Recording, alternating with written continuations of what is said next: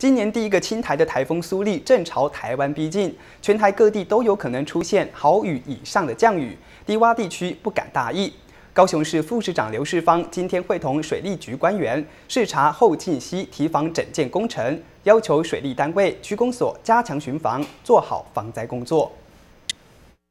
强力台风苏力来势汹汹，高雄市副市长刘世芳马不停蹄视察永安、弥陀、南子、后进溪右岸堤防整建工程。那最主要是要提醒，就是我们的水利单位哈，还有我们的区公所，呃，在我们很多不管是抽水系统也好，或者是水闸门等等呢，我们在汛期前的这个维修作业跟保养一定要能够务实。那同时呢，要加强巡防，希望它增设的那个广播系统能够尽快的来帮我们。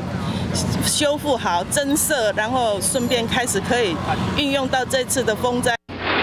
二零一零年凡纳比台风肆虐，造成后进地区，包括高雄大学损失惨重。是否在容易淹水地区新建滞洪池，以免再受水患威胁？就希望说赶快这工程赶快如如取得完工啊，然后也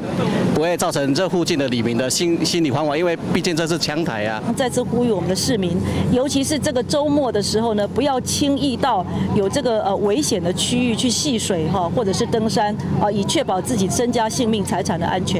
高雄县市合并后，市府在各个容易淹水地区积极新建滞洪池，强化排水渠道整治与水利设施新建修缮。今年第一个台风来袭，考验滞洪池的功效。新唐人亚太电视李娟荣、林宏关，台湾高雄报道。